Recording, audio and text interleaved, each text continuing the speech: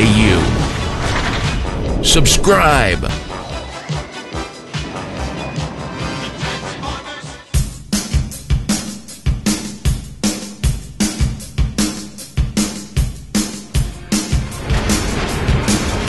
You're watching Radio Free Cybertron.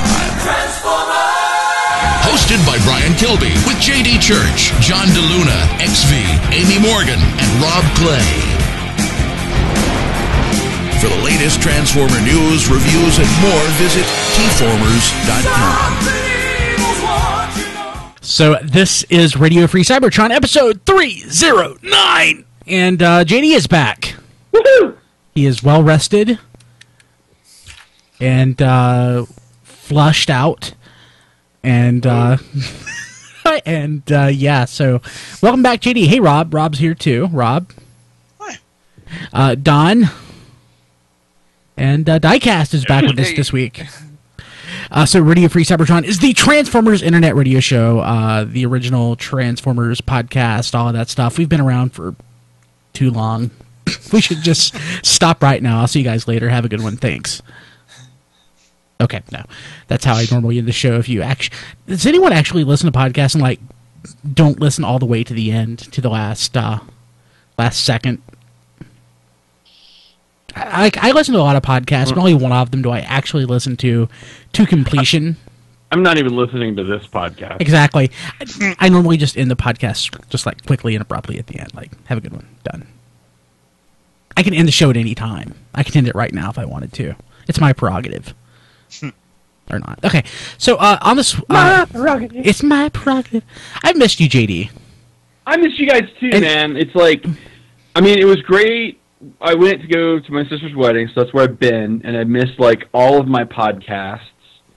Um, I missed like two superhero times. I missed a fanboy versus. I missed this like twice. So it's great to be back. Yeah, but great. it was awesome to go to my sister's wedding, And- and I'm like so happy then. Uh, so big congratulations to my sister Liz and my now brother-in-law Matt. Um, they live up in Pittsburgh, so.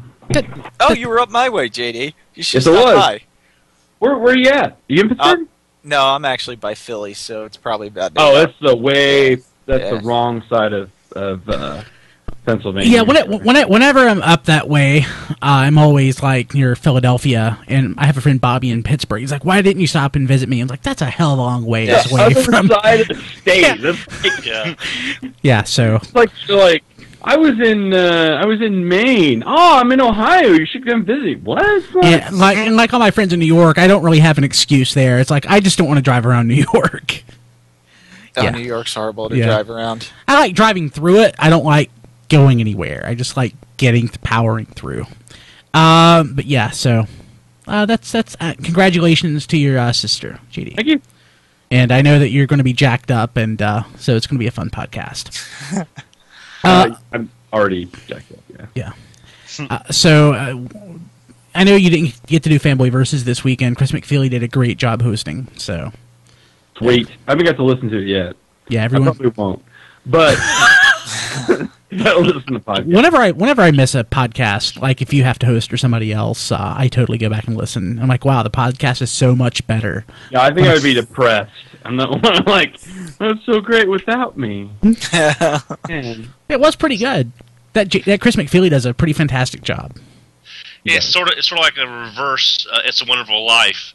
His shows Yeah. are better. His shows All are the better shows are with- better I- without I was me. like, I'm just going to kill myself and get it done with. like, well, God, I got this rope. So uh, usually uh, I try to start things out by asking if anybody got something cool. I know Don, like as soon as I started talking to him like an hour ago, he's like, I didn't get anything.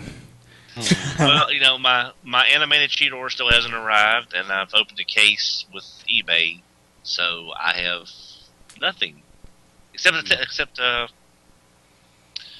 Oh, Beast Hunter Starscream. I've got him. To, Uh, congratulations there. I like it. It, it, it- I, I I don't have it. I've seen it. It doesn't look that bad. Yeah, I don't like the colors, but the but the mold itself, I really do like. It's it's a pretty nice figure. I I don't know that I'm getting anything else anytime soon. If I can find Springer and Blitzwing, hell yes. But that's about all I've got on the. Uh, I mean, I'm talking about from Beast Hunters. oh, gotcha. Yeah. Yeah, I'm definitely uh, getting uh, Springer and Blitzwing. I think everybody's uh, getting Springer and Blitzwing. Yeah, I know. Hey, uh, go ahead, Don. Oh, I'm saying, and and they have been spotted at retail uh, in the U.S. Now, once they're spotted on this side of the country, Don, let me know. Yeah. Yeah. Uh, and Amy actually picked them up in uh, Arizona already. I want to say I hate you, Amy, Nice. but I can't hate you. I love you. I, I know some people uh, in Arizona on Twitter, and Arizona is a magical toy wonderland, so I'm not really surprised. So is Oklahoma City. I found out. It's what? okay. Yeah, no one lives here. Like if I if I want to find like rare 30th anniversary carded GI Joe stuff, I just would go to Oklahoma City and it's still there. Yeah, it's Okay. all there because nobody buys GI Joe here. But I know Diecast picked up something. What what did you get, Diecast? Oh, I got uh, the Fans Project uh, Munitioner and Explorer, the new one, the re-release that makes Bruticus. Ooh. And- That is. That's They're a nice. set. That's a nice set. And what do they retail each? About 70 bucks. Oh no, it's actually you have to buy them in a kit now, so they're uh, 130. They come in one box, and they came with a little Quake figure that I thought was going to be really nice, but is a really loose, crappy. uh, I mean, you know, I, I guess I expected better from Fans Project, and the fact that they were blaming this figure for holding uh, the the re-release up for like four months on these guys. Yeah, that's what And- I heard. Yeah, it's it's it's just loose and a mess, and I, I I wish they would actually not have given it to me, and I could have got the set four months quicker. Yeah. But Actually, speaking of getting things quicker, uh, so there's a delay on uh, the uh, Transformers Club figure. Uh, it's going to be after BotCon. so if you I'll want, tell you how pissed I am about this. so if you want a depth charge, it's going to be, um, I guess, After yeah, after BotCon. Not only that, though. But the uh, subscription service is Yes.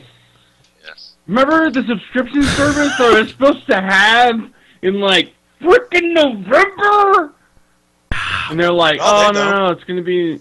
I mean, at, they at BotCon they're like, we're gonna start it and then we're gonna get going and like we're we're gonna jump on it. And I should have should have known. Like I should have known that they were full of crap. And Oh, I believed you. them. Yes.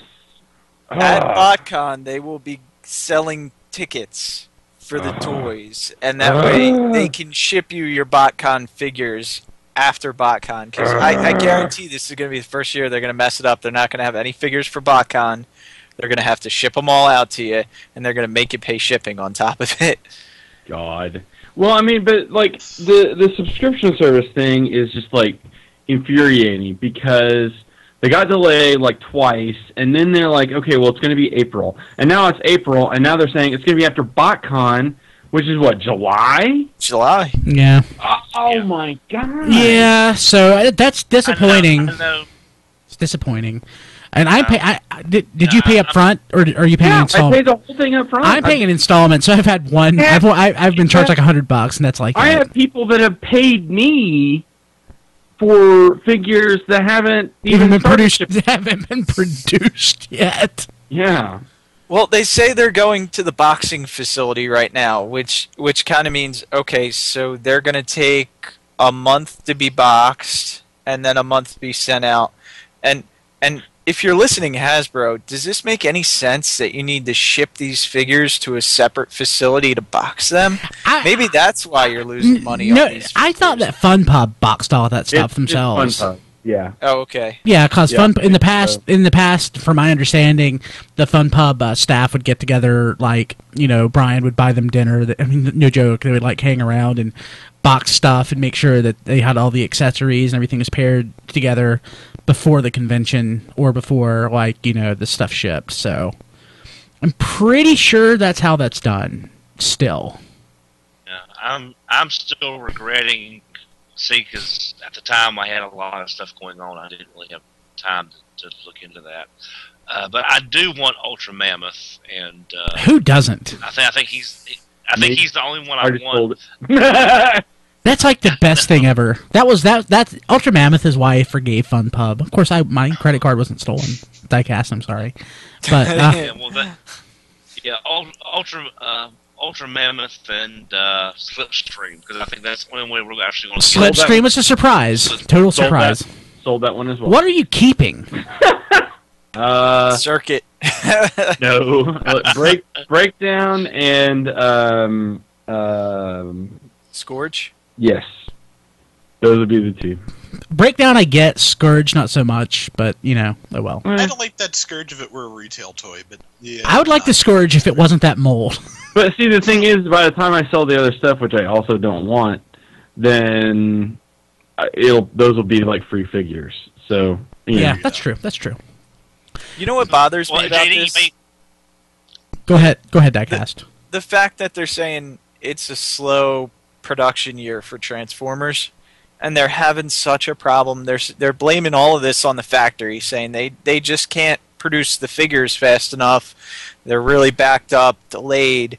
But everything we keep hearing says that they're they're they're not producing as many Transformers as they used to or are capable of. So so why is there an issue? because liberal. nothing is ever FunPub's fault. Okay. So Scaleface, Sc- Scaleface is he, he mentioned this before, and I just want to point this out. He is getting the uh, CA, CHMS breakdown before the club breakdown.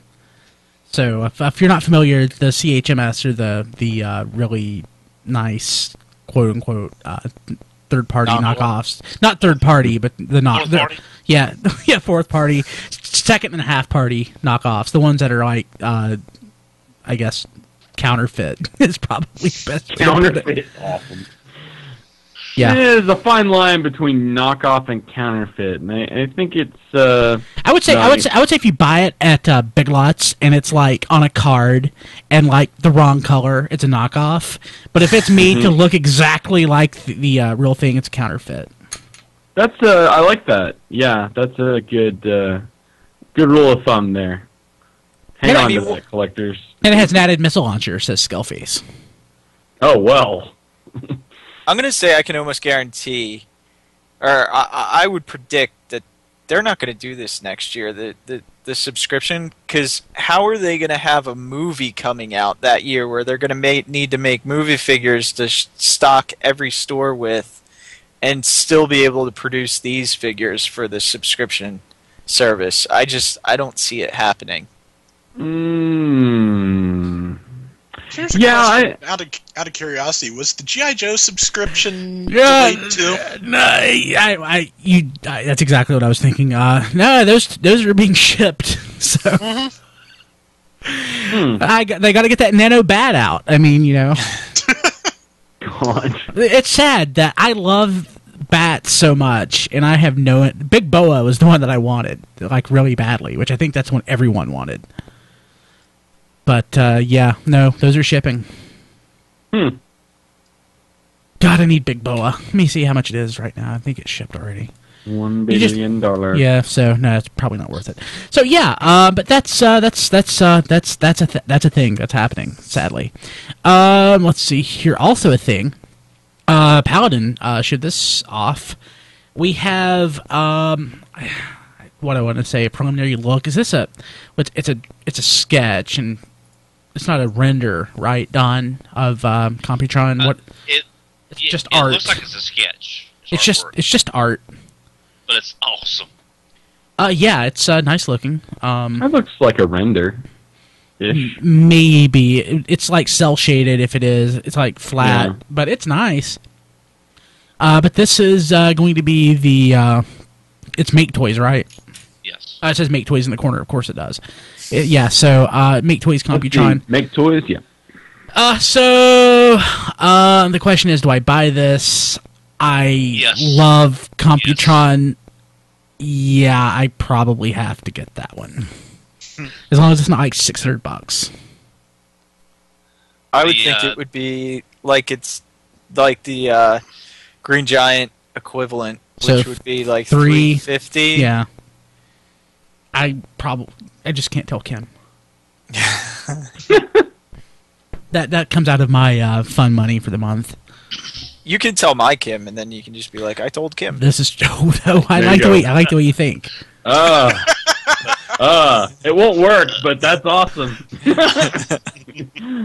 It's I a have- I brilliant have- idea that would not work. I I have to say that Computron does look just phenomenal. It's you know it, it'll be nice to to get a Make Toys product. I've got the Battle Tanker and I've had nothing but good good luck with it. Uh, but that, Computron is just incredible. It's just it's just I, and I love the. I love the energy bow that they're that they've got him with, which looks like it's part of Strafe's um, the outer his wings and his outer shell, kind of like what Lugnut, the back of the plane became the uh, hammer. Yeah, uh, I'm just. I mean, I mean, obviously it's not strafe because you see strafe there is the right arm. I, I'm just trying to think of what part of strafe that would be.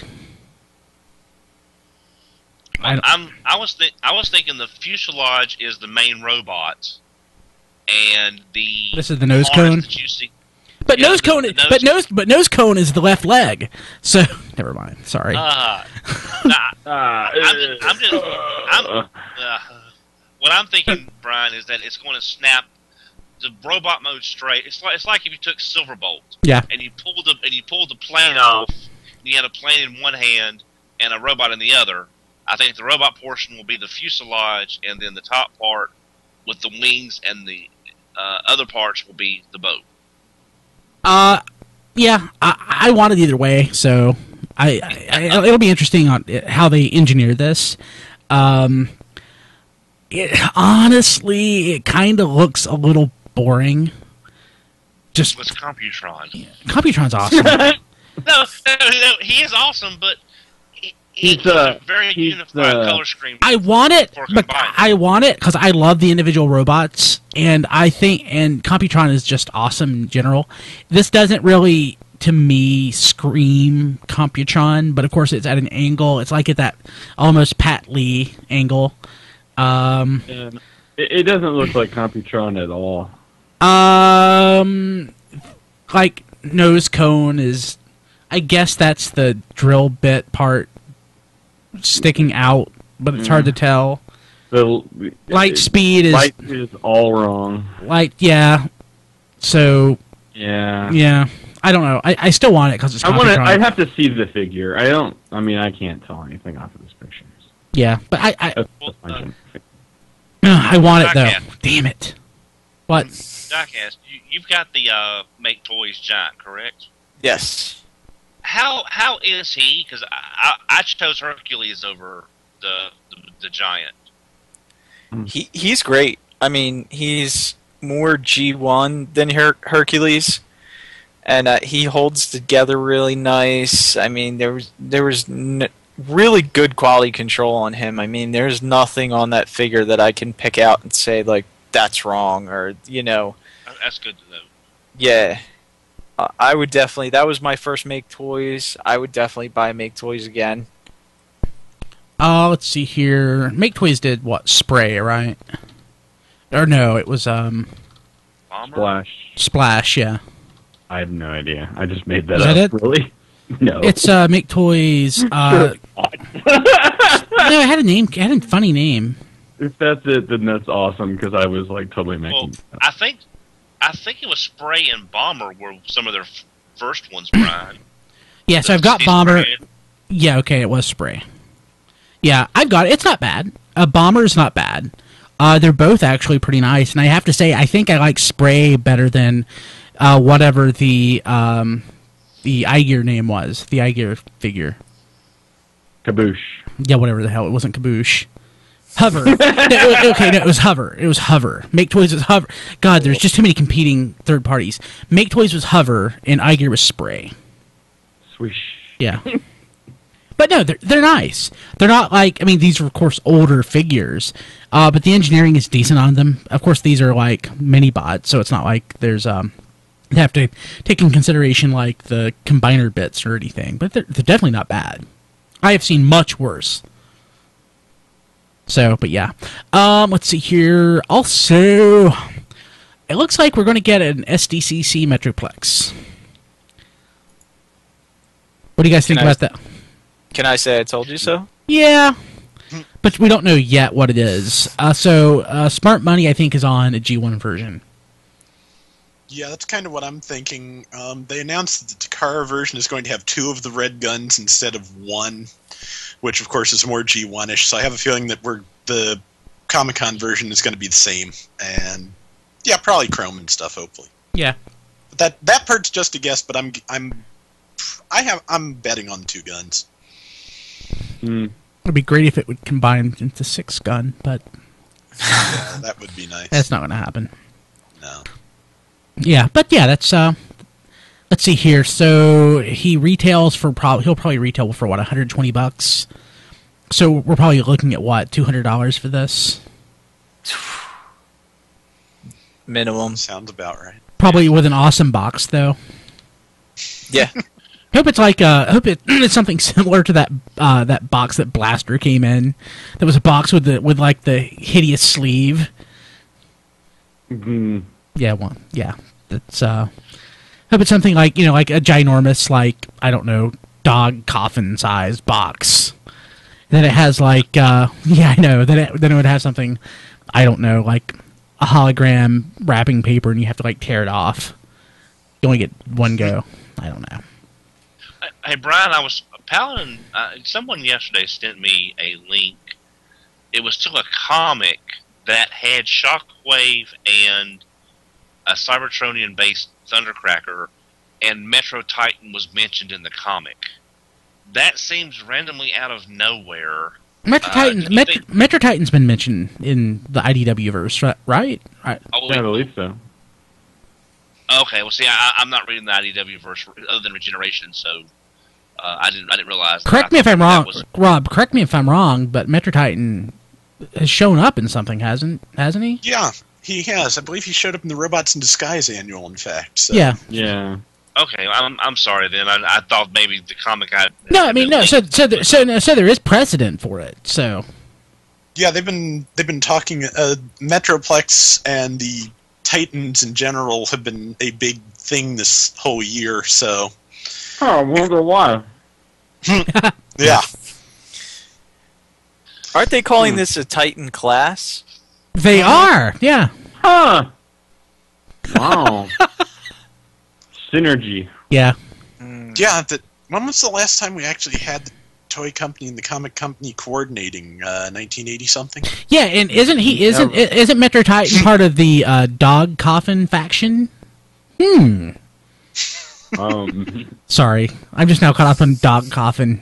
I would say 84 there, Rob Clay. So, 84. Someone, someone get that four dog some Robitussin if he's coughing that much.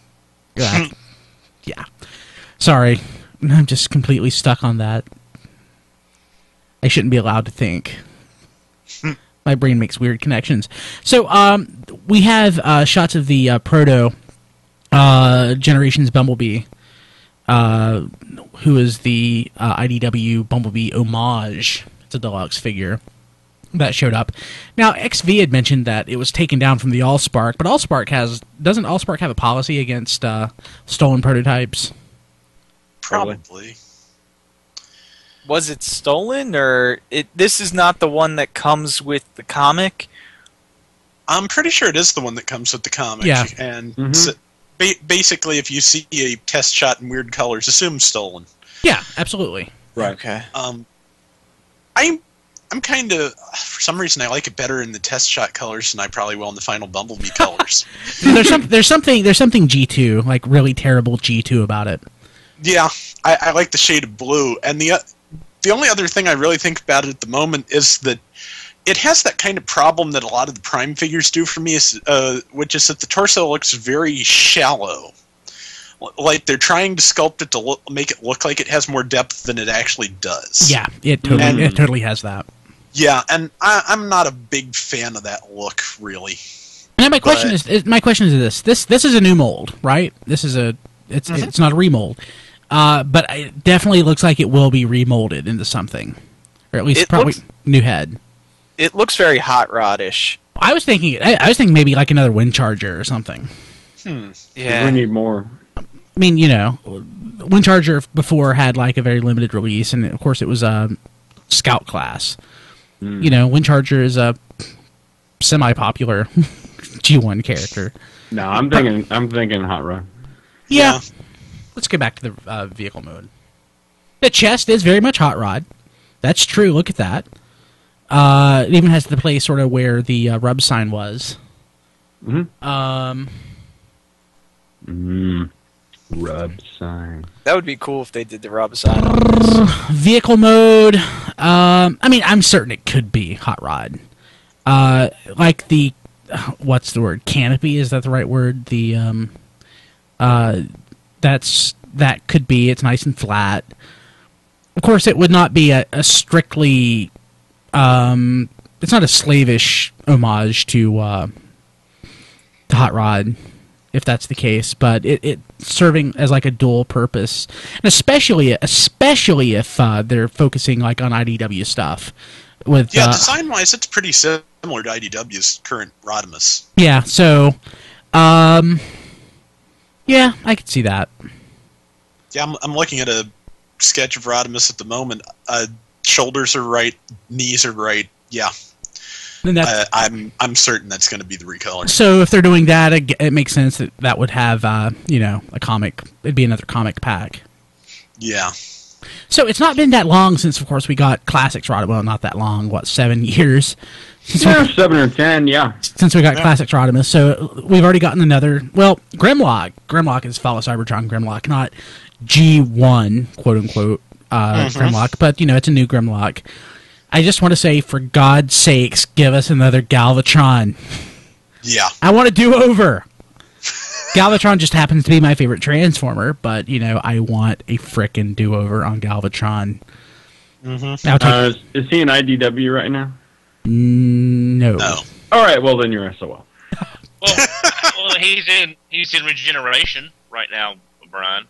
That's, Um, that's true. Don. Kind of doesn't count. No one cares about regeneration. Yeah, pretty much true. I will I care about regeneration in two months when Guido shows up. Yes. Now, now the thing about Generation though is like the alternate covers have been like knocking it out of the park. Here's Uh-huh. here's the here's the ironic thing about regeneration, and I mean this with lots of love. Regeneration is the comic that everyone demanded and no one wanted. No one really demanded it though. They I did. was looking forward to it. I really Lots was. of I people thought demanded it, but I don't think many people wanted it. I, I thought it was going to be my, my favorite thing that IDW was putting out, and then they just happened to be making some of the best comics I've read in ages in the main books instead. Yeah. Um, you know, the the big thing is that for one thing, I really feel like the the twenty year time skip was kind of flies in the face of the idea of the whole thing, which is picking up from where you left off. It it, Yeah, it that- was not a good idea. The whole. Yeah, that's, I mean, Well, they, they that gives them flexibility to not have to actually be a continuation of the original comic. but but this hmm. is but here again. I mean, I don't want to rehash all this stuff, but I mean, it's just like this is completely unnecessary. Generation two was the continuation in the style of regeneration, and that's why I say this is the book that everyone demanded and no one wanted. Because mm-hmm. they demanded that they get this regeneration book that continued on, and they demanded it, so IDW supplied it, and what they supplied, well, ultimately what Furman supplied, was not what anyone actually wanted. And it wouldn't have mattered, to be honest. The, that's the ironic thing. It would not have mattered, because no matter what he did, it wouldn't have been what anybody wanted. Yeah, and it's and, you know, Generation Two was a perfectly fine continuation. It uh, was a great continuation. yeah of G One. Uh, you know other, what, Don? other than Fortress Maximus dying in the second issue, really Oh, screw off. No one cares about Fortress Maximus. Well, this time we didn't even get to see him die, so So something Mm, creepy, something something creepy that uh, was posted on T-Formers uh, earlier that I uh, that uh, Diecast just reminded me of. Uh, we have a size comparison between uh, Metroplex Oh, and the Metroplex is the original and the new one. It's like yeah. This is I mean- it's like he has it's like Metro it's like it's like Titan class Mega uh, Metroplex has a van that he's trying to get G1 Metroplex to come to. I, I mean it's it's like super creepy. And no, It's, JD, um, Metroplex did not borrow my van. God. It's like, you want some ice cream, little boy? Come here. Come on inside. Yeah, that's just uh, creepy, but that's awesome. Would you like to see my Metro Titan? oh God. It's like he's saying, "Close your eyes. It's gonna be okay." Yeah. mm. Oh Yeah, God. um, no, the size difference on those. I, I saw some of the other comparison pictures, like the one where it was set down. Like they were both in like the I don't know vehicle mode, I guess. And so you had like original Metroplex sitting on top of new Metroplex. It was just like, wow. I mean, it was just like infant adults. Can I say too? I really like this style of advertising. Like this really speaks to me when I see stuff like this. You're not even showing the whole figure. We keep getting these shots. Of, This is this is you know- uh, this isn't like Hasbro or Takara doing this. This is someone who uh, works for them, isn't it, or someone who has stolen one? this has got to be planned. I mean, you don't get these kind of photos without without it being approved by someone. And and and this just ah, it makes me want this figure even more. Mm-hmm. It's sort sort of shows what you're getting for your money. Um, you know, as far as the uh, the, the uh, price versus size and everything. I guess. Yeah, Let's be honest, though. Metroplex is pretty small. he is, and he wasn't. I mean, when Metroplex Metroplex came out, his retail was like 26 dollars, something like that. He wasn't an expensive. I mean, he was a base for like the mini bots. You know, like Yeah, I mean, it wasn't like he was enormous. You know. it's still a great figure. Well, by my standards, it's a great figure. Well, I don't. I wasn't saying anything about the style or anything. I'm just talking about the general size.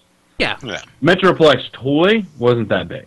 no, I mean he uh, wasn't as big as Trypticon. I mean, Definitely there are not. Optimus figures, you know, that are bigger than than Metroplex. yeah, uh, God Ginrai is taller than Metroplex. So, mhm. Yeah.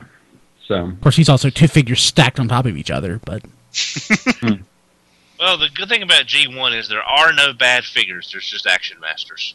oh, that's not true. mm, There are plenty of bad Well- figures. there are plenty of bad figures aside from Action Masters, and Action Masters are awful. Oh, they're not that Um, awful. They're pretty bad. They're not even Transformers. They're Transformers. No, they're not. Who can't What is- what is- What, what a is Bubble- concept! What does Bumblebee turn into? Nothing. Well, when, Okay. his, when his when his rubber band breaks a pile of parts. Mm-hmm. Yeah. Okay. He turns into a GI Joe. Congratulations. And uh, it looks like Diecast added this one, and this is definitely worth bringing up. I think um, the there's a Maketoys upgrade kit for the Year of the Snake uh, Omega Supreme. Um, did anyone pick that up? No. I did. Do you like it? Yeah, it's it's uh Is it worth a hundred bucks? it's sitting there, you know. it's thing. Yeah. It- s- so here's the uh, it's a thing he bought. Yep. so it adds the uh, I guess the cannon fist thing that and a quarter of a track. I yeah. was about to say, it gives him a whole racetrack to wear on his back. So yeah. I thought that was the other upgrade. Uh, w- there was another Oh, upgrade maybe I'm kit. thinking about the other upgrade kit. Then Yeah. I haven't seen the picture yet. Yeah. so. So um, Yeah, this is a quarter of a track. the base looks really nice though. I mean, you know. yeah. You know, I'm- at them. You know, I'll be honest. I, I am tempted to get that, but see, I've got Omega Supreme and Omega Sentinel. I really don't want a third one. Yeah, you do. Well, just use this on what you have. Yeah, base mode. Uh, yeah, that the tank, the tank, the train mode looks nice. Yeah. Looks like he's hauling something to shoot Godzilla with. I mean, the part that the the part that the gun part, like the the nose cone part, that goes on. I mean, that goes on the other arm. I guess the only part, time it makes a difference is in the for the tank tr- uh, train thing, but just set it on the side. Yeah, not bad. Hey, uh, Diecast. Um, before we uh, jump to comic news, why don't you tell us what's going on in the chat? Oh, okay. Um, He's playing John DeLuna this week.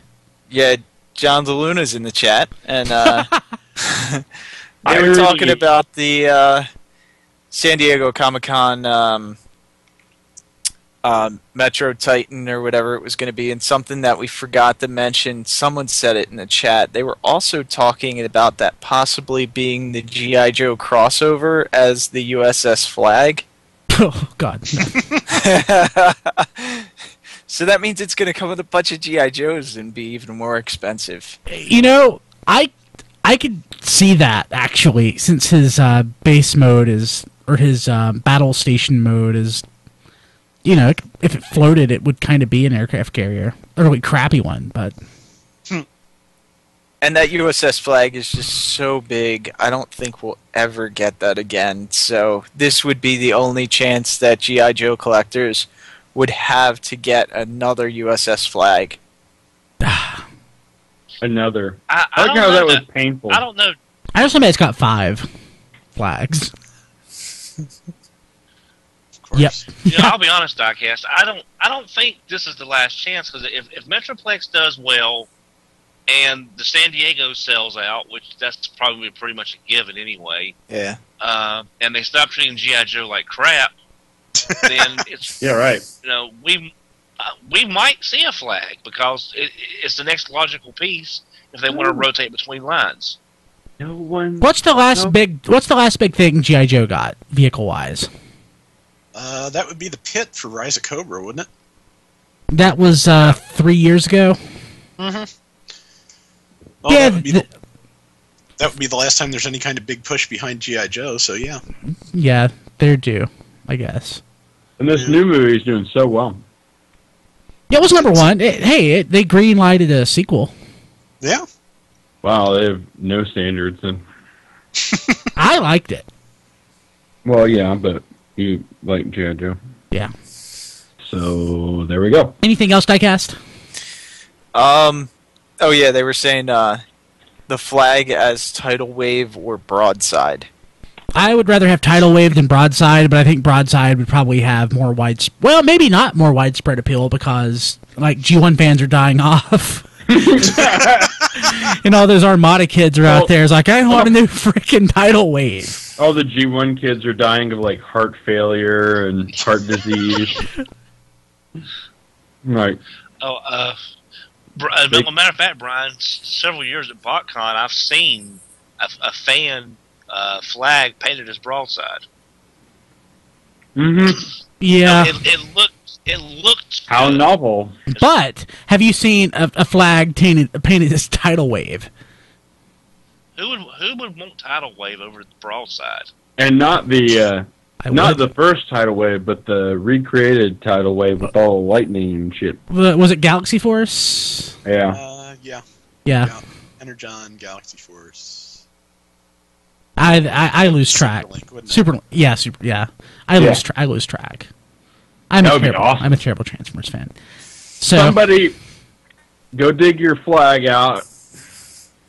Take one out from under the coffee table because you're using it to prop up the coffee table, and you know, repaint it. You could use that thing as a bed. yeah, Could put like three of them. Well, it'd take a lot for my bed. Um, I need a lot of surface area. But yeah. Uh, okay, cool. Uh, so let's go ahead and, and jump to comic news this week. It's a Spotlight Hoist. Excited about that. After that, we have Transformers Rewind, which is uh, Grimlock's new brain this week. Uh, we also, Computron, Yeah, that's exactly right. Oh God, I love Computron so much. Uh, also, after that, we have Transformers Prime uh, retro review, which is uh, speed metal. And after that, uh, Rob, Rob Springer joins us with his weekly Q and A, and you can send questions to uh, Rob at tfradio.net. I think that's Rob's address. You don't have that, do you, Rob Clay? Right? No, I, do, I don't have a TF radio address. Oh, do you want one? I've got too many email addresses as it is, or I would take you up on that. Okay. He'll just he'll just point it at one of his others. Yeah, that's that's what I do. Uh, yeah, or you can tweet us at TF Radio or send us a something at facebook.com slash TF Radio. And uh, we will be back after that. Uh, see you in a couple minutes. Warning! The following segment may contain spoilers for the most recent Transformers comic books. Uh, this week we're talking about Spotlight Hoist because someone demanded it. Uh, and here's Amy with comics news. So I haven't done the news section for two weeks, so I've got quite a bit, but yet at the same time, it's a lot of little bits, and some of it has expired. So I'm just going to call it, and, and we'll we'll put out the stuff that's relevant for this week. Uh, basically, Spotlight Hoist is coming out this week, and the digital version of Monstrosity Five was also out last week. So if you didn't download it, you can get it now. Um, and that's pretty much what's out this week. Uh, but we've got a lot of previews, and some of them have already expired because comics have come out. Because hey, I haven't done this for two weeks. Okay, I'm sorry. I just had a life. So, uh, yeah. Uh, the uh, in a little section that I will call pre- previews galore because we've just had a ton of it just kind of tossed at us for every comic that comes out. There's a preview. So um, yeah, first off we have a Star Star Saber concept art that was given to Full Metal Hero via Alex Milne. So we've got some good concept art that you get a chance to look at. Uh, we also have a cover revealed for Monstrosity issue number six. Uh, both Regeneration 91 and Robots in Disguise issue 17 have gotten a three page preview from iBooks this just in the last 24 hours. So that is available because that's probably both coming out next week, I'm guessing, or something similar to it. Um, Amazon has also revealed some trade paperback um, cover reviews. This, of course, is a week old because, again, you miss it for a week and boom just lots of floodgates.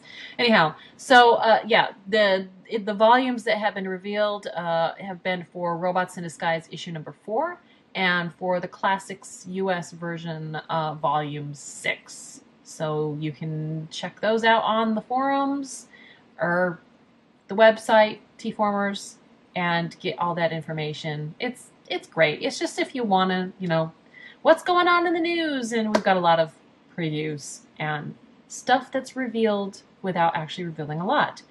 Uh, also, if you are on Twitter and you enjoy comics, you have to start following Mairghread Scott's Twitter account because if you are reading any of her stuff or have read Rage of the Dinobots and plan on reading Beast Hunters, she's been tweeting out pictures, teaser images, and one of them happened to be a robot that we had no idea who it was. And she said, if you guess it, you get to get a free comic signed by her. So uh, it's already finished. But the point is, is that this stuff is out there. Contests are going on, and this is a person that you're going to want to follow because, yeah, she tweets stuff out there. And, you know, if you want to be teased, this is a good way to get in on the scoop before you hear me telling you about it and after the fact. So uh, also, BotCon has revealed a comic book page that will be in the 2013 uh, comic uh, convention comics. So if you want to check that out, there's some stuff out there too. And lastly, certainly not least, Facebook commentary is available on the Facebook page for Transformers. We've got More Than Meets the Eye 16, most recently Spotlight Hoist, but we've also had Robots in Disguise 16 as well. Um, just check it out. Facebook, type in Transformers, and you find it. And James Roberts has also been chatting to Comic Book Resources, another interview that's also online. So, yeah, lots of good stuff. Free Comic Book Day is out this weekend. Actually, by the time you hear this, uh, it'll already be over with. Hey, tweet it out there or go to the forums and let us know what free comic books you picked up this week. And that's pretty much it. Go to eBay and type in Wreck and Roll t shirt and find me. I am selling them. And that's it for the news. So, Spotlight Hoist. Because Hasbro demanded it. Yes. Because otherwise, I can't figure out why Spotlight Hoist would be a thing. Yeah. Um, de- definitely into the realm of contractual obligation comics here. I don't think James Roberts really knew what to do with it either. No. Uh, I was looking through TF Wiki in the process of writing the review of this, um, and Hoist doesn't really have much of a background in IDW. As opposed to all the other places where Hoist has a background? At least in the cartoon continuity as Hoist Goes Hollywood. Well, yeah. And sort of the Master Builders, although in that he's mostly notable for getting welded into a wall. He's an engineer. He doesn't have to be smart, smart. Yeah. Um, well, let's start with the art for this issue. It's better than more than meets the eye. The, Yeah. the previous issue of that. Yeah, it's more in line with the first issue of Rage of the Dinobots, which had stylistic quirks to it, but the art was technically good. Yeah, there there are a couple of uh, Metroplex panels here that are a little bit wonky, The cover. but yeah, the cover and, and one of the long shots where the geometry just isn't. But other than that, it, it is a much stronger issue, and you know, considering what we've heard about how far in advance some of these were done. I would not. It really does not surprise me if they gave. It would would not surprise me if they gave Padilla more work based on the strength of this issue. If this was like his tryout for Transformers, I can kind of see how they would have given him more books.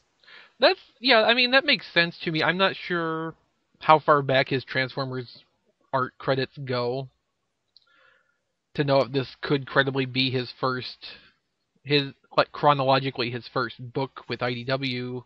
Um but I mean either way there probably was more time to work on this issue which means he had more time to refine the art as he was going through it and clean it up and make it uh, a tighter product.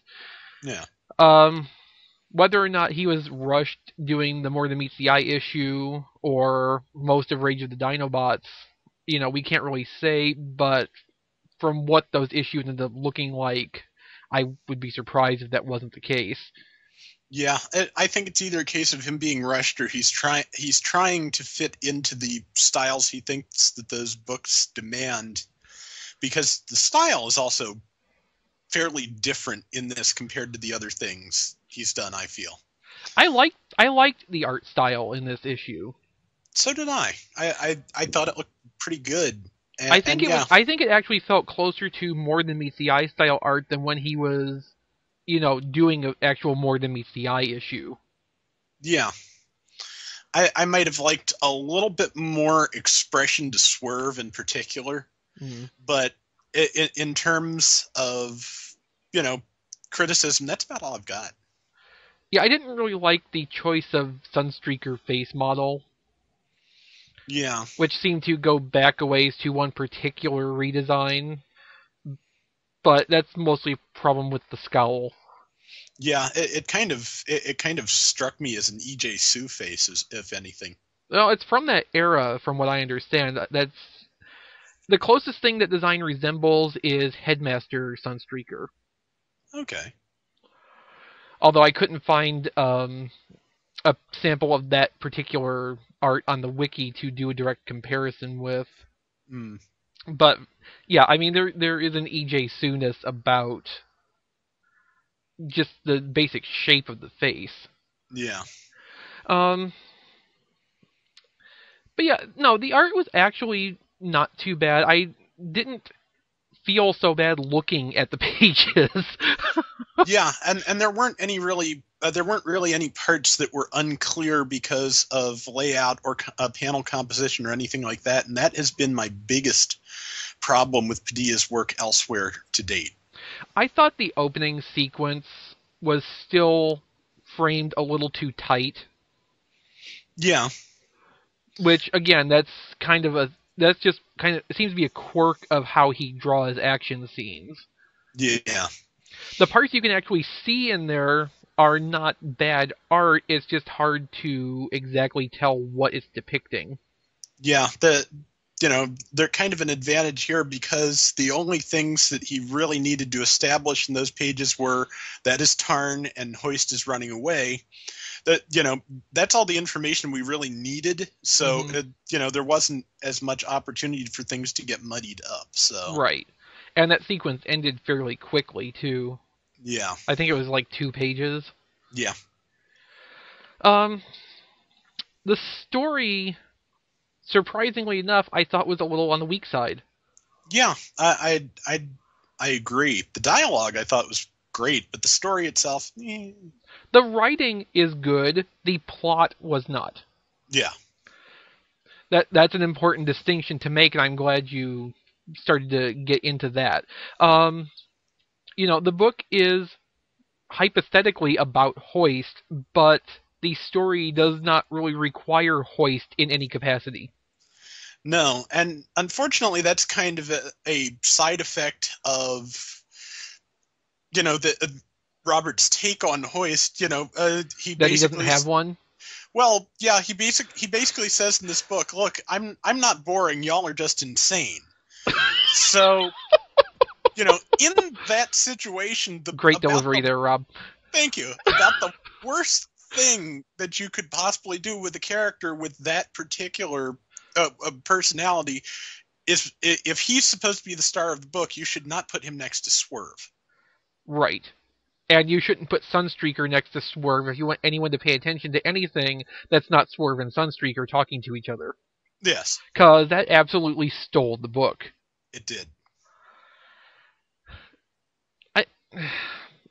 And again, like I mentioned at the start of this, there's not a lot to draw from with Hoist in this continuity. And like you said, nobody's really done much of anything with Hoist. Yeah. you know, he's right behind Trailbreaker, Cutter, Blast, whatever, Hmm. in terms of the overlooked G1 characters Yeah. from the Which first why two years. which is why it's taken him this long to get a Generations toy. Right. Right behind Trail Cutter.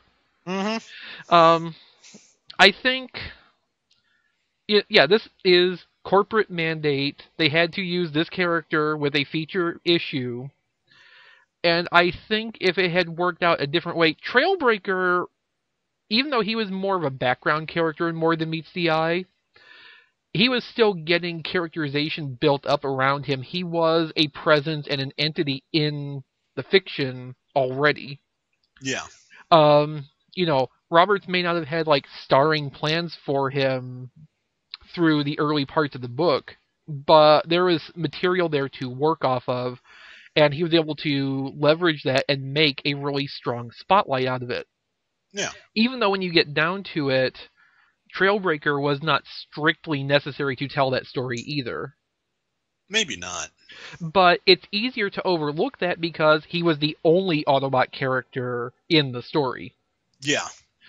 whereas Hoist is getting upstaged left, right, and bottom, Mm-hmm. uh, or top with you know half of Perceptor. Yes. Half of Perceptor is more interesting than Hoist. Yeah. I mean, just think about that for a second. Perceptor's upper body welded to an inverted floor is more interesting than Hoist. Mm-hmm. But I think if James Roberts had had the opportunity, or let's be honest here, the motivation to develop Hoist at all in any capacity in the books, I think this could have been a lot stronger issue.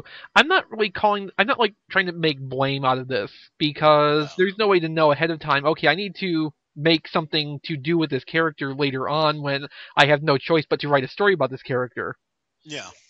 but there's not much there. It's a weakness of the character in general, and the book really demonstrates that, unfortunately. Yeah. And you, and given the amount of space it has, you might have been able to develop an entire personality for Hoist in that space, but only if nothing else was going on and something else had to be going on. Just like with Spotlight Trail Cutter, Mm-hmm. because nothing else was going on, Yeah.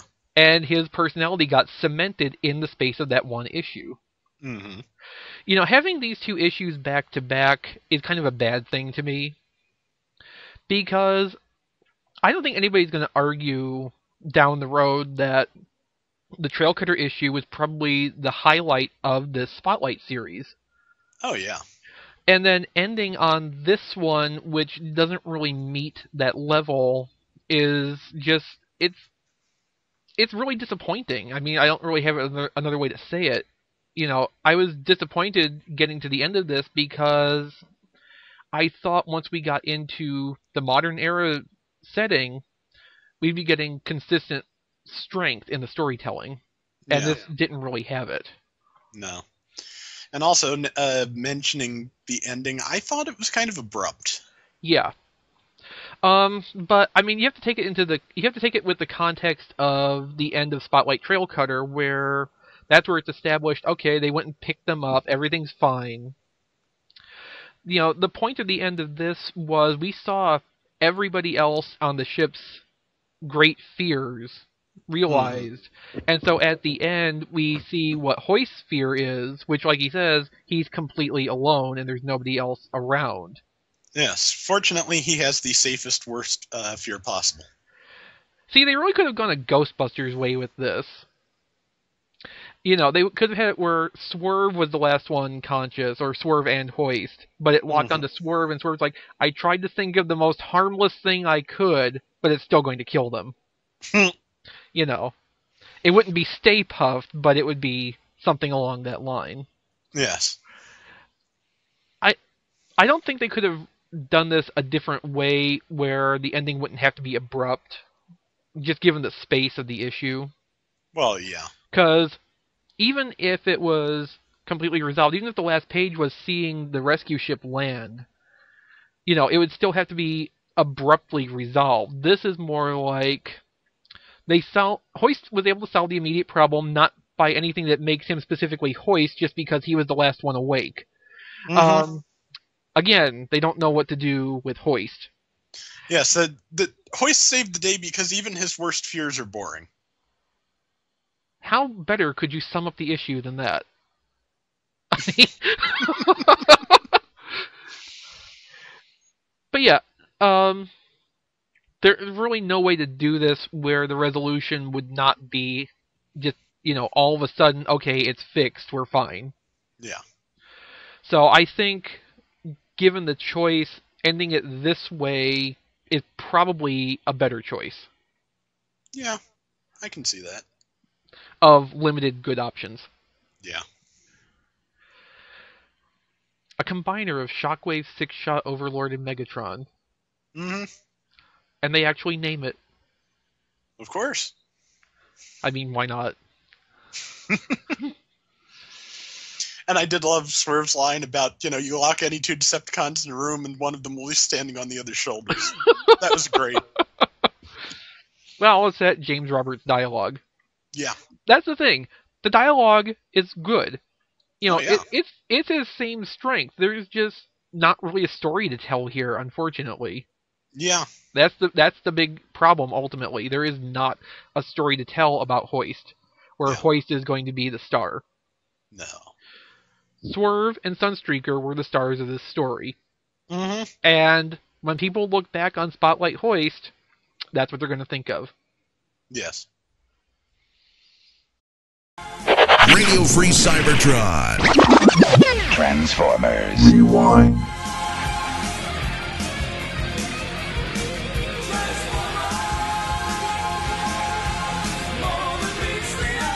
This week on Transformers Rewind, it's Generation 1 Grimlock's new brain. What do we do, Grimlock? The Terrorcons turned into a giant.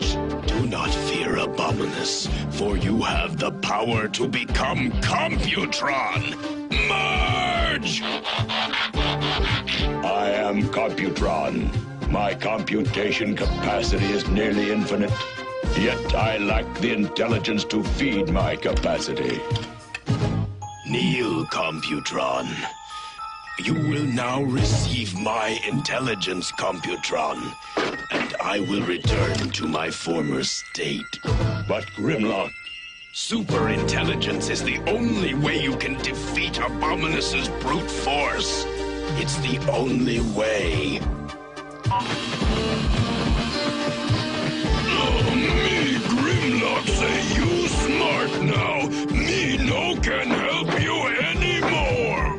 Received. Conclusion must destroy Abominus at once. Datum, Abominus's grip unbreakable. Conclusion must use intense vibration to disengage.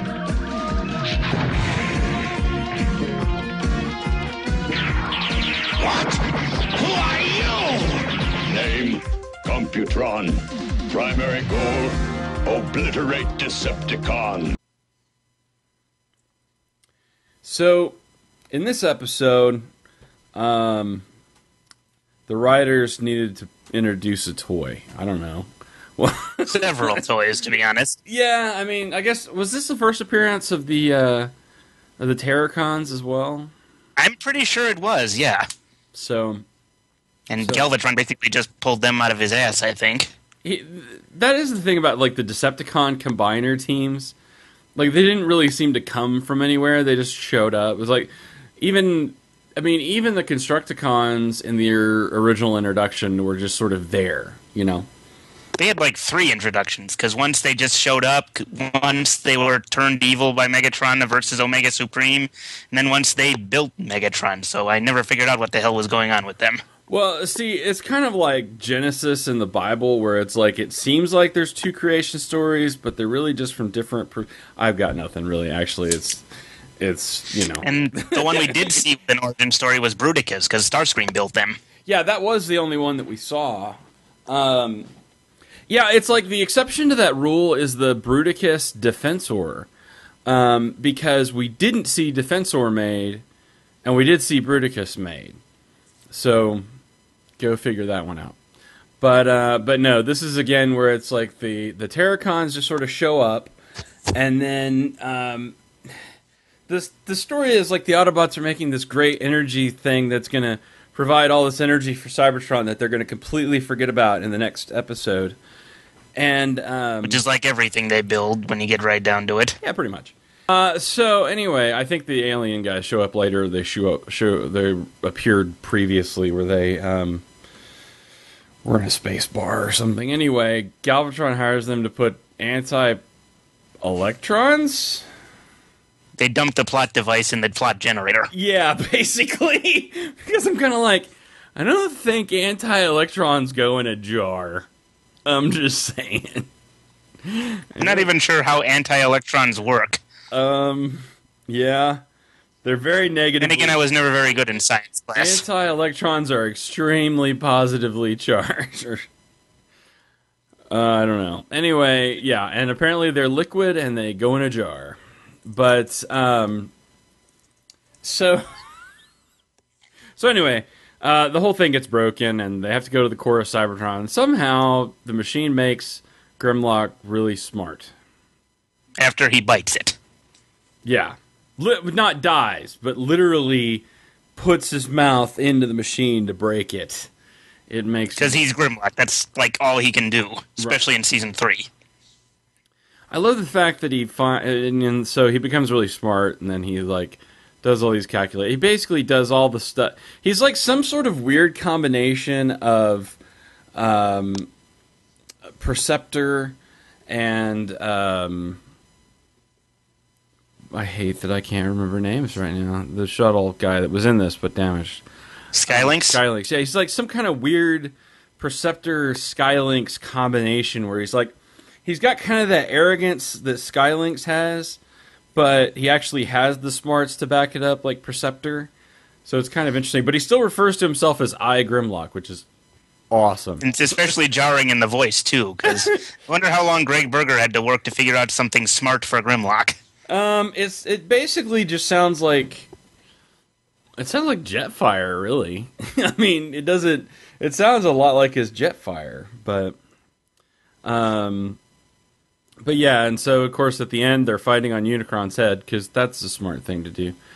And um, what's great is like when they get into this final battle with the with the Terrorcons, Grimlock just walks off. He's just like, I gotta go do a thing. He doesn't even tell them. He just like walks off, and they're like, "Hey," and he's like, "Yeah." and now the amazing thing to me is that, of course, in this whole time that Grimlock is smart, he stays in the T Rex mode the whole time. Yes. He builds with the little hands and the little arms. He builds the Technobots. That's the part I don't understand. I'm like, surely. That's probably the most impressive part of his increased smarts. Yeah, his increased smarts allow him to make a, a T Rex seem dexterous. I don't know how that works. But anyway, he builds the Technobots, and then he makes course, compu- first online says something incredibly creepy. Are you my father? Are you my daddy? Will you buy me a teddy bear? And his response isn't much better. In a way, yes. He's like, well, yes. You see, I did know your mother, You can call me daddy. Yes. but a lot of people knew your mother. There were a lot of nickels on Cybertron. It's made of nickels, really. Uh, so, uh, so yeah. So anyway, uh, but I, I love that he makes Computron intentionally, s- like have a big brain but stupid, and then transfers his intelligence because that's a thing you can do. You know, you can Yes. just siphon off your own intelligence and like intentionally makes himself stupid again to basically put all the toys back in the box at the end of the episode. So now you've got Computron, who's incredibly smart, and and will um, appear like twice more, I think. yeah, maybe. Like I know Lightspeed is in uh, the fourth season um, Headmasters episode, but like that's all I remember. I know they were all in the Return of Optimus Prime. Yeah. Well, everybody was, I think, in that. But yeah. So they were vital to the survival of the rest of the series. But hey, basically, it's like, hey, new toys. Woohoo. They're still awesome designs, though. They are. If- I mean, yeah. If and when one of the third-party groups gets to work on not Technobots, I'll find a way to pay for those. Yeah, yeah. I think that um, I'd have to say that I think like these two, like the the combination, the uh, both the Terrorcons and Computron, they're probably two of my favorite like Scramble City um, combiners. You know, they were kind of at the end of that line anyway, and they they seem to be like the best designed. You know, they. I mean, it's not like they. It's not like they, you know, were vastly different but they at least had like a nice overall look. The Technobots are really like futuristic and sleek design and, and streamlined, whereas the the Terrorcons are all like crazy monsters, you know. So they're not really. Neither of them as combiners are really based on anything else pre-existing, um, right. Which is kind of Especially picking the monsters as components seemed kind of weird. yeah, but it worked and and and and, and absolutely like it. So, but and uh, now it'll work again whenever the rest of those components come out for Beast Hunters. the only beasts I'm interested in, basically, other than Hardshell, which is awesome. But so um, the moral of this episode is Grimlock smart, Grimlock dumb, and that's smarts. Grimlock will never be smart, and that not dumb. There's no one Grimlock rather be than Grimlock.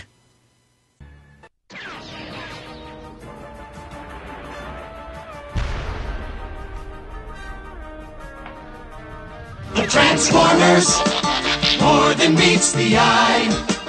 Autobots wage their battle to destroy the Calling all Autobots and Decepticons. Transformers are coming to Charlotte, North Carolina. Everyone is invited to Charticon on August 10th through the 11th at the Charlotte Marriott Executive Park Hotel. Come meet voice actors from Generation 1, Beast Wars and Transformers Prime. See the Camaro based on Bumblebee from the movies. Thousands of Transformers will be on display and for sale. Meet the hosts of Radio Free Cybertron, who will be broadcasting from the convention all weekend. Don't forget to check out the RFC panel while you're there. Doors open at 10 a.m. on Saturday and Sunday. Register online for show exclusives and early access at Charticon.com. That's C H A R T I C O N.com. Or find us on Facebook and Twitter.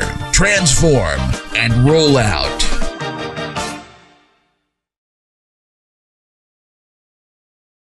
Welcome back to Prime Retro Reviews. Yeah, I am Amy. Hi, I'm Nick. Hello, Nicole. This is our fangirl. going? It's good. It's good. It's it's one of those days, you know. Yes, it is. the stuff that you'll never know that goes on behind scenes of recording. oh, okay. So this is our fangirl review of Transformers Prime Episode 6 from Season 1. This episode is titled Speed Metal. It was written by uh, Dean Stefan, and it originally aired on the Hub on um, April 9th of 2011. So you know things are going to end up going wrong when you start an episode where Knockout gets his paint scratched on purpose. Yeah, that's. he's such a pretty boy. he is, and he's so proud of his paint job. yeah. Uh, this is kind of what I'd like to say is um, this is Prime's answer to the animated episode called Velocity. Do you remember that one? That was where Yes, I do. Hmm? Bumblebee and Sorry go street in. racing. they Yep. just had to get in on that fun, so we have this episode. Woo! Uh, Knockout. he street races in the opening segment, and he gets back at the human who scratched his paint job um, because, yeah, he looked a little too perfect, and this guy was like, "Yeah, you look too perfect, so I'm gonna scratch you up." Um, after the intro, uh, Jack meets a girl, Sierra, and gets a little peer pressure to impress via racing another cl- fellow classmate whose name is Vince. Both appear in the in the episode off and on in various places. So, Arcee doesn't go for it uh, until Vince gives a personal insult to Arcee, and then it is so on. And of course, Yeah, she you- you- wins. You, don't mess with Arcee. No, man. no, no. You do not. You do not. You just don't do that. what were the words? She. Th- th- this was really great because I was like, okay, this is awesome. They're they're having this nice little you know race and all that. And, you know, she does win. And what were the words she says at the very end? She says, "Winning isn't enough. You want to make him cry." Yeah. so yeah. But Arcee had a lot of good one-liners in this one. She did. She did. And the claws came out because you just, you know, it's kind of a, it's half and half. It's, we get, we're getting a little new bit of a new side of Arcee. And then on Mhm. the other hand, she's like, she's trying to all act like a, a lady and all that. But yeah, the claws come Wait. out. What at the beginning was it the what uh, Jack was talking about, like her stats and stuff? And yeah. like, uh, yeah. a and then woman's she's like, stat- a a woman's lady's stats are her own business." business. Yeah. I thought that was fantastic. I was just like, that was awesome. Let's see what another one that she did. Oh yeah, I'm your guardian, kiddo, not your wingman. That's it. That's right. And we'll come back to that whole guardian wingman oh, thing. Arcee. very This is. I think this is the episode I fell in love with Arcee. Yeah. Most definitely. She's she just had this really great attitude. It was great. So hmm so um after that, that's when we check in with the cons. Old Megatron is only improving cosmetically. Uh, Starscream checks in about the time that Knockout returns from buffing his chassis from the scratch he received in the first scene. Uh, he's annoyed with his uh, uh, Starscream is annoyed with with Knockout's hobby, and when he fails to call Starscream Lord, they have this little go. Um, you know, if and when Megatron will ever come out of his comatose state, and hey, you know, the the, the medical quality around here is not that great. it only ends with Screamer saying, "Yeah, keep go- keep buffing Megatron. You know, we'd like him to look good. Look, we'd like him to look his best for the memorial." Yeah. and then he Yep, leaves the room. and he gets some really good buffing, especially in season three. Yes, he does. Very shiny. Yeah. But knockout, yeah, he gets the last word. He says, "Buff this." I thought that was funny. Oh my gosh, that was so funny because he has his hand gesture too. Yeah. and you know what it's supposed to mean, but it's not the offensive hand gestures. But it was just the oh, insinuation. I, Oh, knockout. I thought it was hilarious. I just, I just laughed. I just cracked up. Buff this. I was like, oh I- my gosh. I love that. I love that guy. Love that guy. Meanwhile, Arcee and Jack return back to base. Not a word to anyone because she bent the rules to, you know, go racing and all that. Um, Yeah. As you know, they just didn't, they just don't want Prime to find out because, like, hey, she's supposed to be responsible. Uh, but Miko and Raf, yeah, it's funny how rumors fly at school because the whole school has heard of the race and how he whipped Vince. So that leads, of course, to another race. No. Arcee really didn't Yep. think this through very much, did she? And Jack, well, eh, yeah, he bites off a little more than he can chew as he's agreed to the other race, but Arcee says, "Uh-uh, nada, we're not doing that again." maybe if maybe if he said something like, you know, well, he said this about you, maybe she would have graded that. Oh, That's a good idea. That- You know, hey, Yeah, because Arcee does have her pride. is Yeah, she you- does. so- So we go back to Knockout, uh, who is back on the ground, not at the Nemesis. He's he's driving near Jasper, just out for a stroll, looking for a race, and he gets a call from Breakdown about how Starscream is looking for him because he's kind of mad again. And well, it's, when is Starscream in a good mood? Really? True. Very rarely. True. It doesn't happen very often. And of course, he mm-hmm. likes to just, you know, scream and yell at people because that's what Starscream does. Hey, it's in the name, you know, scream. Exactly. So another car zooms past Knockout, and he takes it as a challenge and starts following this car, and it starts leading him to Jasper.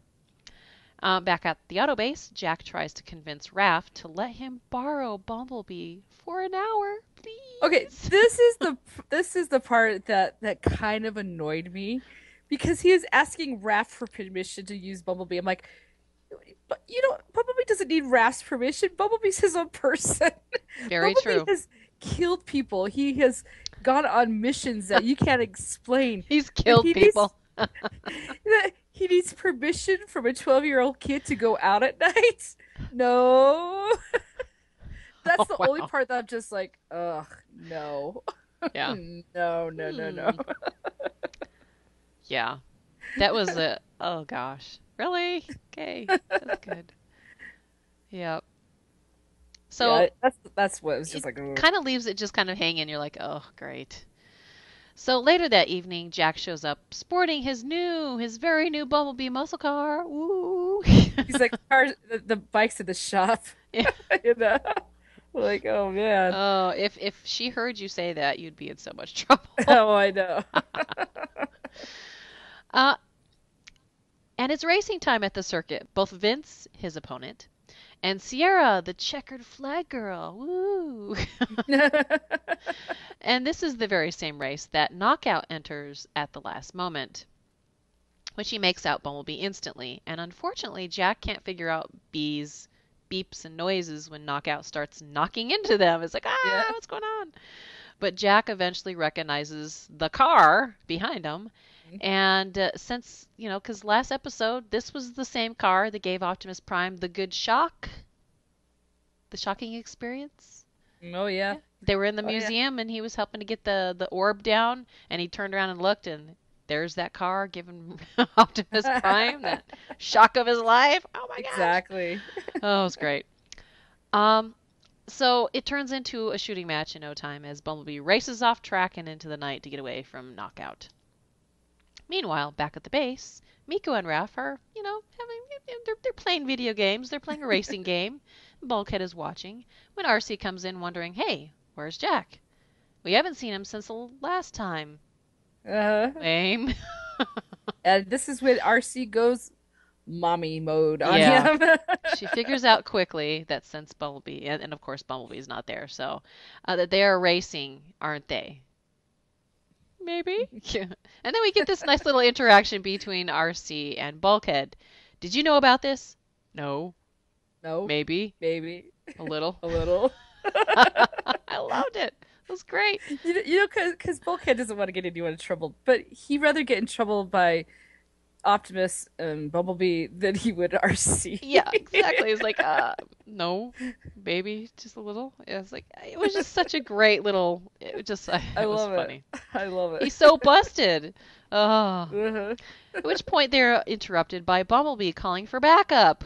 Cause yeah, they're getting their butts kicked. And then uh, you know Arcee's like, yeah, yeah, keep Jack safe till I get my hands on him. He's not going to be safe Yeah, there. he's not gonna be safe. His goose is cooked already. Uh, well, Exactly. we go back to Bumblebee and Jack and the car chase, and they find a way to hide, but Vince finds them and blows their cover, and then gets caught by Knockout because Knockout thinks that Vince is Bumblebee's human friend. Uh oh. Apparently, all humans look the same to to Knockout. yeah, yeah. Okay, so once they once Knockout takes off with Vince, the backup shows up. We get Arcee and Bulkhead there to go, "Hey, you know what's going on?" And Jack is like, "We got to get them back. We got we got to get Vince back cuz like Kn- Knockout just took him." And Bulkhead says what we're all thinking. "Oh well, tough break for Vince." Yeah. Cuz he is the jerk. he's a jerk. He deserves he, it. He deserves it. It's like, yeah, I'm like, yeah, bulkhead, you said exactly what I was going to say. Oh, well, tough luck. Whoops. but no, Jack convinces them that no, we, we have to, we have to save them. We have to save him. So, um, yeah. we're down to the last six minutes. See, I think that that's a very good leadership. I think that was a very good leadership quality in Jack. Yeah, was saying, like- you know what, I don't like the guy either, but he doesn't deserve this. So Yeah, he's an innocent. We can't let him die because like it Yeah. wouldn't be the responsible thing to do. Even though I'd really like to see him get his. yeah, that's true.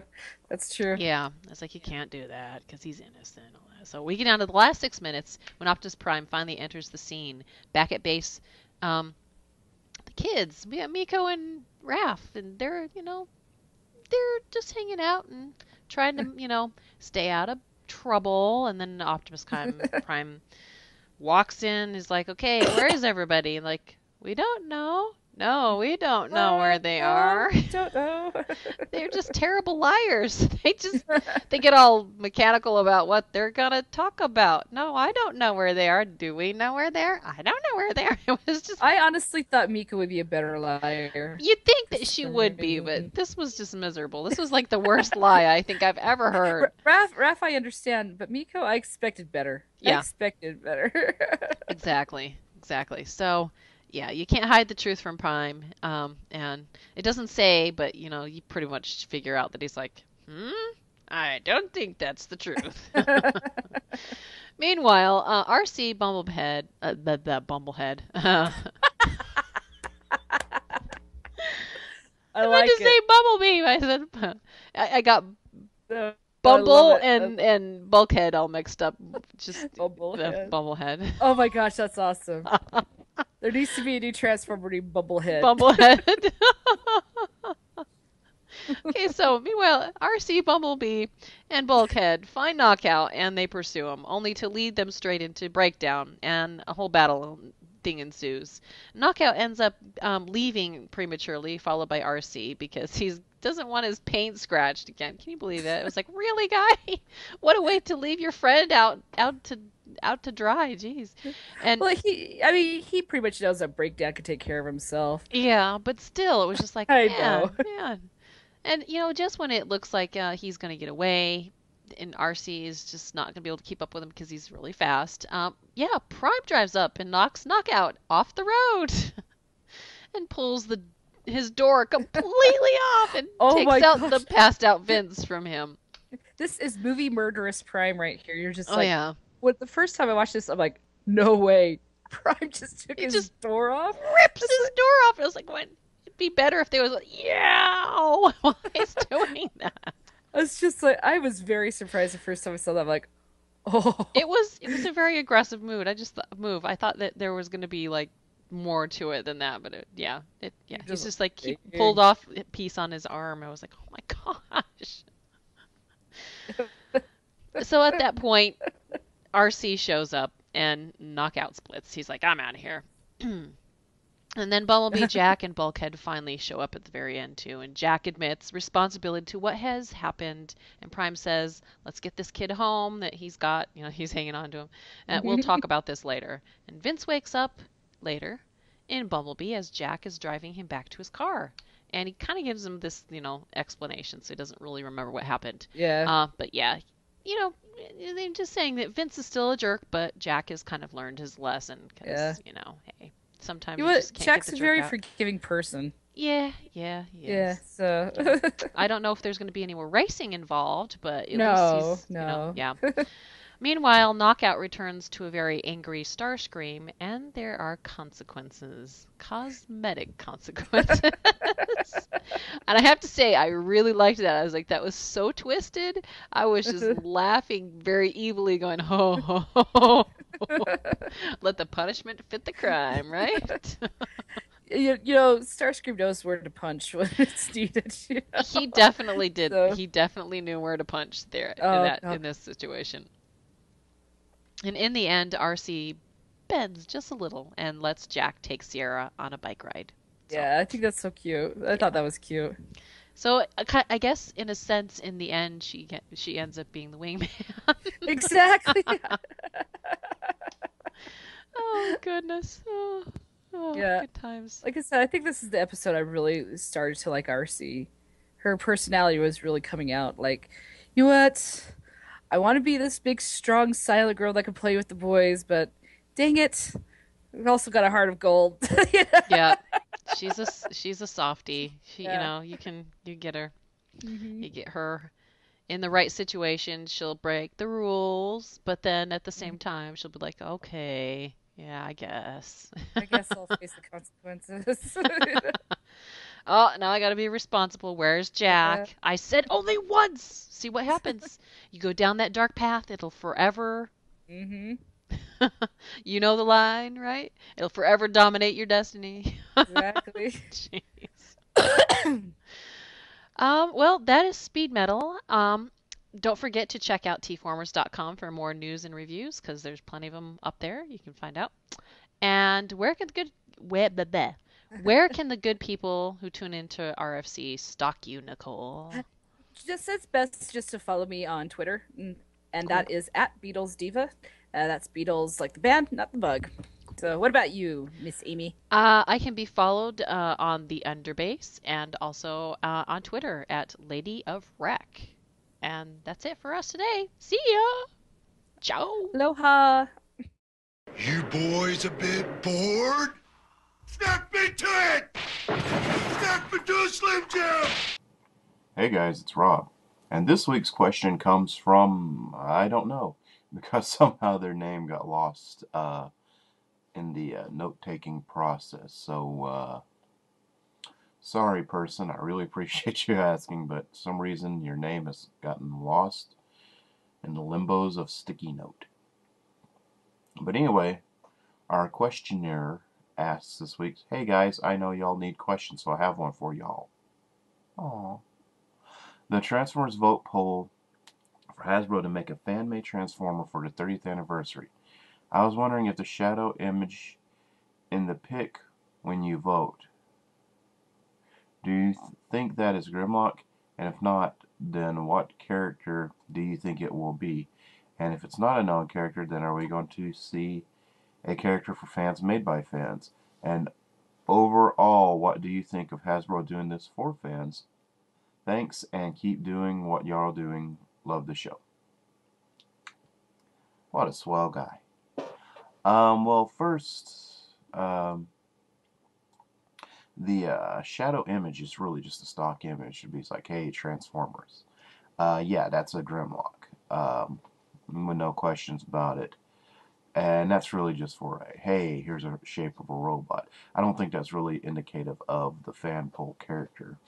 Um, in fact, uh, I think the point of is that to be like a, character we all vote on. Um, and some like make basically make some sort of new character. Uh, exactly how new this character is going to be is up for grabs. I don't know if it's going to be a name reuse or we even get a brand new name. Pretty much the whole point of the poll is to vote on its appear his appearance and overall outward character. Now, saying that, I, I kind of, I, I don't, I kind of think the toy's already been made, and this is kind of a nicety. You know, like, hey, hey, what would you guys like? Yeah, yeah, yeah.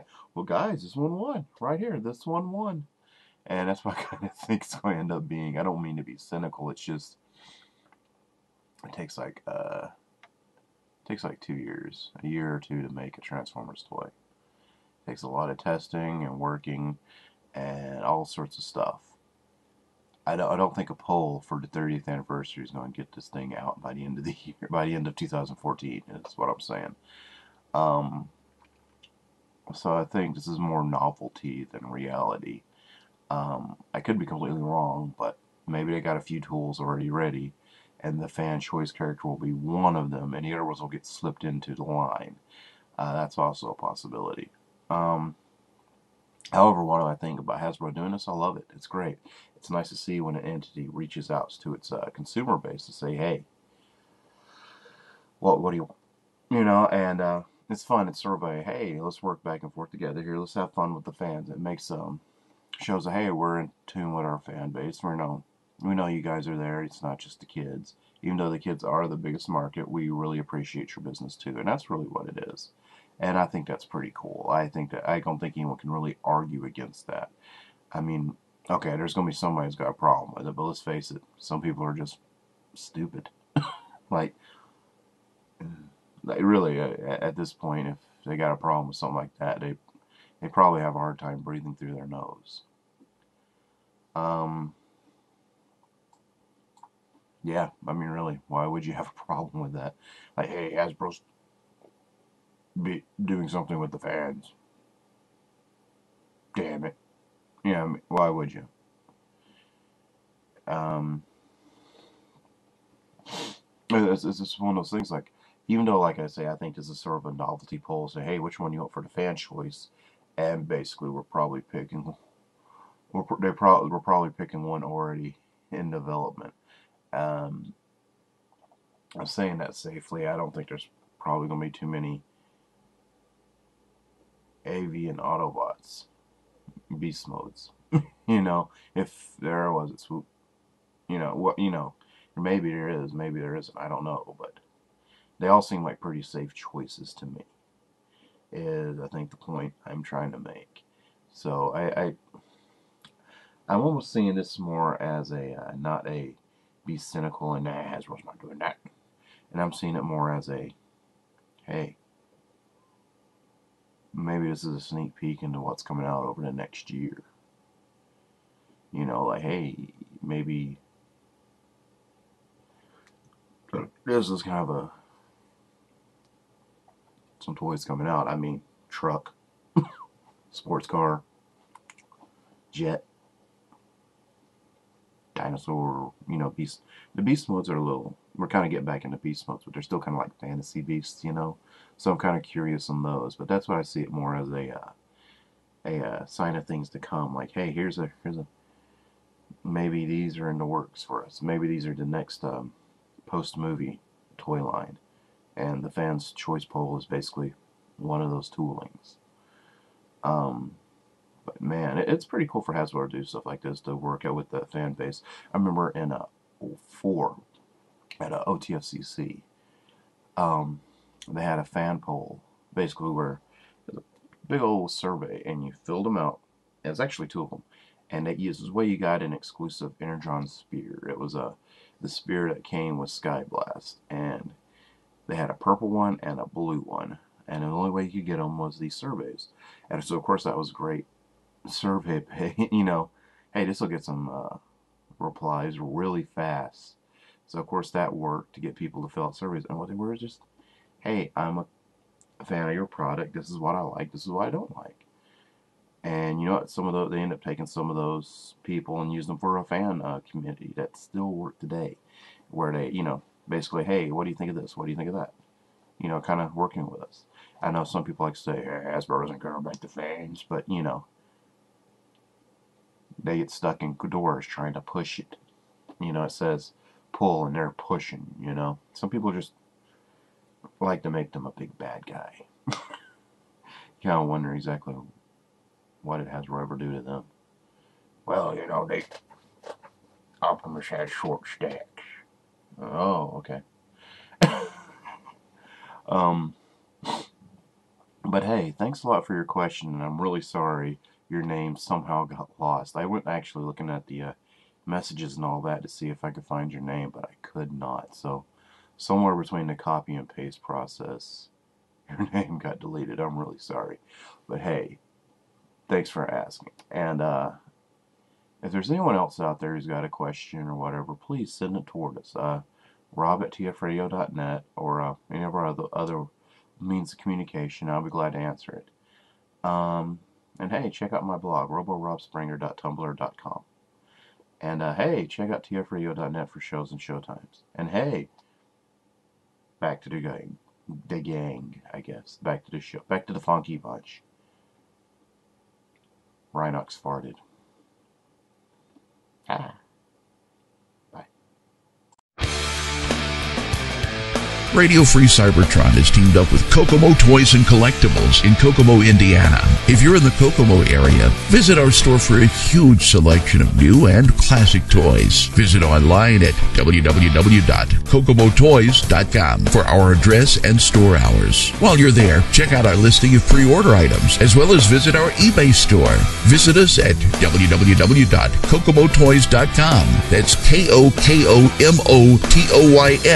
dot com. We're also on Facebook. So uh, we are back. Thanks, guys. That was uh, pretty great. Uh, You're welcome. okay, so in the break, JD and I were, compla- uh, arguing about which is the greatest basketball state. It's obviously Kentucky. It's North Carolina.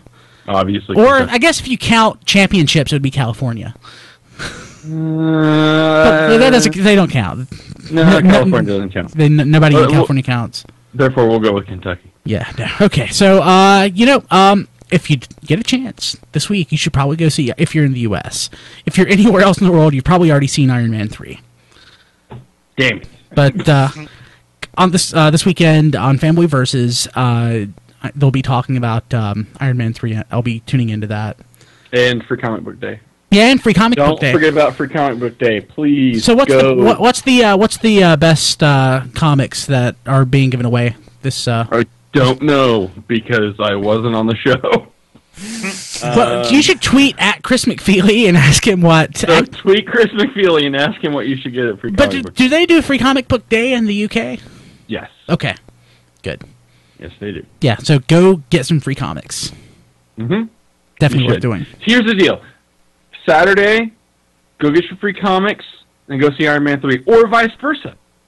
Go see Iron Man 3 and then go get your free comics. And buy something when you're there. That's the that is the That's the important thing. Buy something while you're there. When you go to Free Comic Book Day, get your free comics and buy something. I know that a lot of shops like this is like Christmas for them. Like they have huge sales. Like my local shop, New World Comics in Oklahoma City. If you're in the area, you should come. Uh, they're having a 24-hour sale from 9 a.m. to 9 a.m. starting uh, on Saturday morning. So You should go like uh, hang out and broadcast from there. Um, it is going to be packed.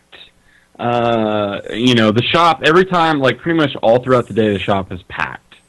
So I don't want to take up any of his floor space, nor would it be quiet enough, which is a good thing to uh, to broadcast from there. But I had thought about it, but um, And while while we're while we're on the point of plugging comic shops, let's plug Acme Comics in Greensboro, North Carolina.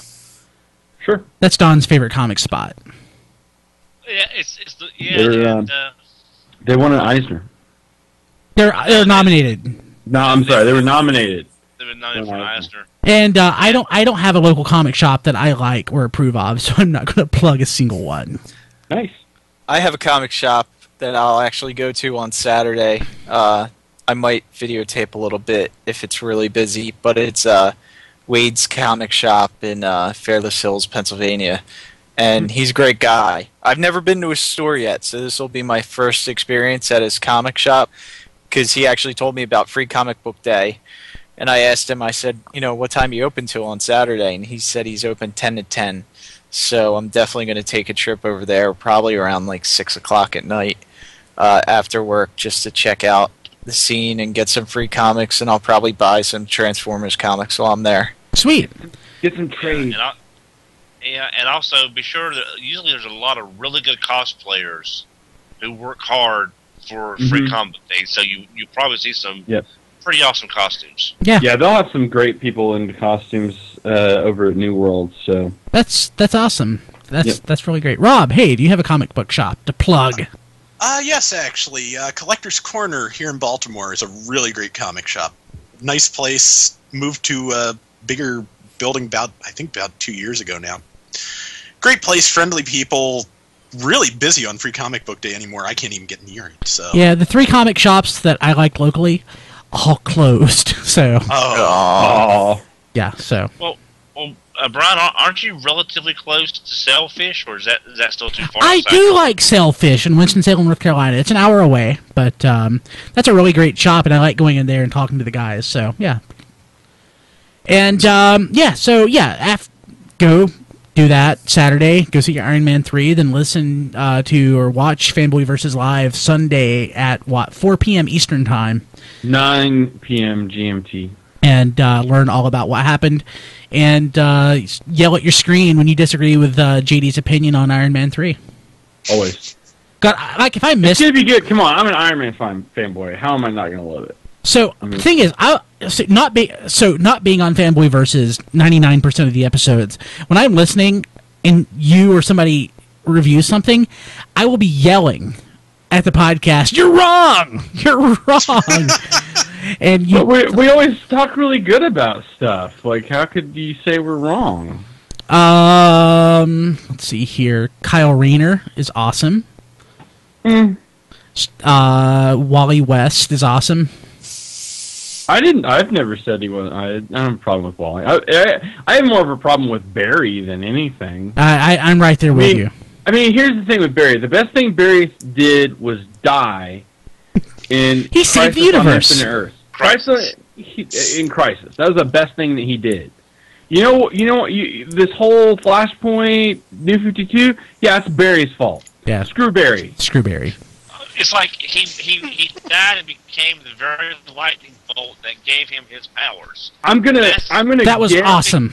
I am gonna get that animated Flashpoint movie, and I'm gonna put on loop when Barry lightning bolts the crap out of himself, and he's laying there in a burnt, smoldering mess, and I'm just gonna loop it. Yeah. And laugh. So as you can as you can tell that uh, the last five minutes have been about comics. That's a Radio Free Cybertron for this week. You can uh, find us online at tfradio.net. We have well more than 300 episodes of Radio Free Cybertron to go through. If you've missed one in the past, uh, we have the entire archive of Fanboy Verses, as well as Superhero Time, uh, New Soundwave, and uh, some other uh, shows which are retired. We have lots of great stuff. You can find us on Facebook at facebook.com slash TF Radio and on it and Twitter at uh, TF Radio. I am on Twitter at bkilby and I swear to God I'm going to start tweeting more because it just occurred to me this weekend. He's an atheist. Don't believe him. It just occurred to me this weekend that um, you know I miss like IMing like XV and stuff because we used to chat a lot at work. And I thought, well, I, I miss chatting with all my friends. Well, what in the hell is Twitter? There but, you go. But freaking chat that's just visible to everyone. Like, wow, why did I not get that before? So, uh, probably not going to tweet. We've been having fun on Twitter, especially the last couple days. at B Kilby, it's going to be epic. Nope. What? I might I might even have to check out this Twitter thing and see what all you kids are talking. I've had There this. you go. Just, just Come on, Don. Just follow Get in me. the pool, baby. Just, just get in the pool. Just, just follow me. I've had the same number of followers for like the last three years. I, I like hit 600 and then I like stopped. JD, I'm Oh. not getting the same pull with you. I'm so excited. reasons. T- TFG1 Mike passed me. That's that's where I'm at right now. So, please follow me. Please. yeah, follow me too. I could use. I could definitely use some more followers. Like Amy's about to catch up with me. Chris McFeely's like catching up with me. I used to like be important and stuff I'm on Twitter. struggling with like 200 followers. I'm like, come on. Yeah, all my friends are like in the thousands. Just help a guy out. All right. Uh, yeah. All right. Gotta go. Okay, so uh, JD, you are at the JD Church. Yes. Rob is REC twenty seven fifty. Mm-hmm. Don does and flail and flail throughs and flail throughs. We'll let you know what next week what Don is. Don will tell us next week. And Diecast is you're at Diecast too. Yes, yes, and I have like three followers, so follow me. Get on it, man. Why aren't y'all following Diecast? He's awesome. He is awesome. So uh, I guess that'll do it for this week. Uh, we will see you later. Thank you very much for tuning in. Uh, for the guys, Brian Kilby. Peace out. This has been Radio Free Cybertron. Visit us at tfradio.net for show notes and to subscribe to the podcast. Follow us on Twitter at tfradio for news and updates. Watch our live stream at tfradio.net slash live. Join our Facebook fan page at facebook.com slash tfradio. Subscribe to our YouTube channel, TF Radio Network. Have a question or comment? Leave it on our Facebook fan page or mail it to contact at tfradio.net. Copyright 2012 TF Radio Network.